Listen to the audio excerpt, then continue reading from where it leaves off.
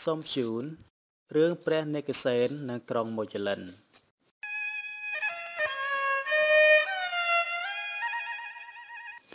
ក្រោយសម័យបរិនិព្វាននៃព្រះសម្មាសម្ពុទ្ធបរមគ្រូ មានព្រះមហាថេរៈមួយអង្គគង់នៅក្នុងអារាមមួយក្បែរឆ្នេរមហានទី លោកជាអ្នកព្យាយាមបោសសម្អាតទីវត្តអារាមជារៀងរាល់ថ្ងៃវេលាមួយនោះលោកបានកាន់អំបោបោសសម្រាមកើទុកមួយដុំ បំរុងនឹងកើបយកទៅចោលតែមានឆ្កែមួយទៅជុះលាមកដាក់កំណើសម្រាមនោះឲ្យទៅកើបសម្រាមនិងលាមកឆ្កែនោះយកទៅចោលនៅឯឆ្នេរមហានទីសាមរេកើបសម្រាមយកទៅចោលតាមបញ្ជារបស់មហាថេរតែដោយសារខ្ពើមលាមកឆ្កែពេកសាមណេរក៏កើបទៅចោលទាំងក្តីទោមនស្ស លោកយកសម្រាមទៅចាក់ចោលហើយ បានឃើញរលកទឹកមហានទីបោកបាយផ្កាត្រែងខ្ពស់ខ្ពស់ខ្លាំងខ្លាំងក៏តាំងសេចក្តីប្រាថ្នាថាដោយអំណាចបញ្ញាកម្មដែលខ្ញុំបានកោសម្រាមនិងលិមួកឆ្កែយកមកចោលនេះសូមឲ្យខ្ញុំកើតក្នុងអនាគតជាតិមានប្រាជ្ញាខ្លាំងដោយទឹករលកមហានទីដែលបែបផ្កាត្រៃនេះកុំឲ្យកុំឲ្យមានបុគ្គលណាមានប្រាជ្ញាលើខ្ញុំឡើយ។ ព្រះមហាថេរលើសាមណេរប្រាថ្នាដូច្នេះលោកក៏តាំងសេចក្តីប្រាថ្នាថាដោយអំណាចផលដែលខ្ញុំបានបោសសម្រាមហើយ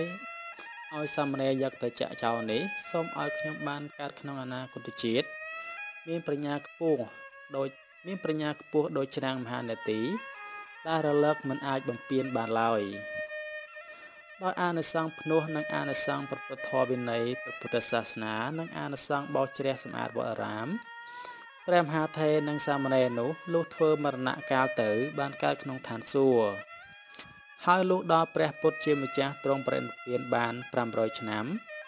ព្រះមហាថេរបានមកកើតជាព្រះនេកសេននៅចិត្តមណ្ឌលពោធិព្រឹកសាមណេរបានមកកើតជាព្រះបាទមិលន្ទ្រាធរាជនៅឯសាកលនគរជាស្ដេចមានអំណាចមានប្រាជ្ញាមហិមាទ្រង់ដេញដោលសួរប្រាថ្នាផ្សេងផ្សេងនឹងភិក្ខុសង្ឃក្នុងចម្ពោះទ្វីប គ្មានភិក្ខុសង្ឃណាមួយអាចឆ្លើយរួចបានឡើយគ្រានោះភិក្ខុទាំងឡាយបានរត់ទៅជ្រកក្នុងព្រៃមិនហ៊ាននៅក្នុងវត្តទីបំផុតស្ដេចបានសួរប្រស្នាធរព្រះពុទ្ធសាសនានិងព្រះបាទនិកសេនព្រះមហាថេរបានវិសាចនីឥតទើសទាល់ជំពាក់ត្រង់ណាសោះលោកបានផ្ចាញ់ព្រះបាទមិលន្ទ្រាធិរាជឲ្យចាលចាញ់ចុះចូលព្រះពុទ្ធសាសនាដោយស្ម័គ្រចិត្ត បាទអញ្ចឹងរឿងនេះនិយាយអំពីអនុសង្ឃក្នុងការបោសជ្រះវត្តអារាមបាទអញ្ចឹងដោយអនុសង្ឃនេះយើងអាចប្រាថ្នាហើយតាំងចិត្តនោះផលនោះនឹងបាន នៅអនាគតជាតិណាមួយ